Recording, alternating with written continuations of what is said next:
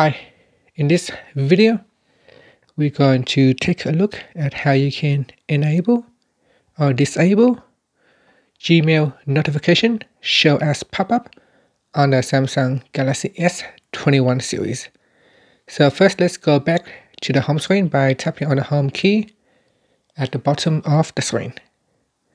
And then on the home screen or in the app screen, tap on the Google folder and then tap on Gmail.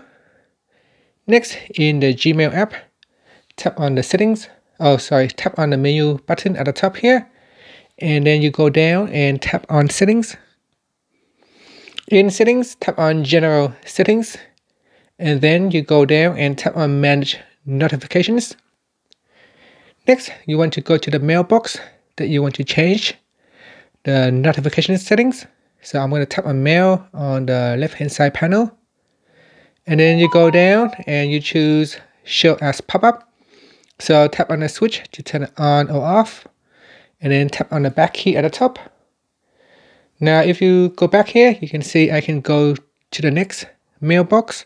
And I can also choose to have it on or off. So you need to set this feature individually for each of the different mailbox that you have in Gmail. And that's it. Finally, you can tap on the back key to go back to your inbox. Or you can tap on the home key to go back to your home screen.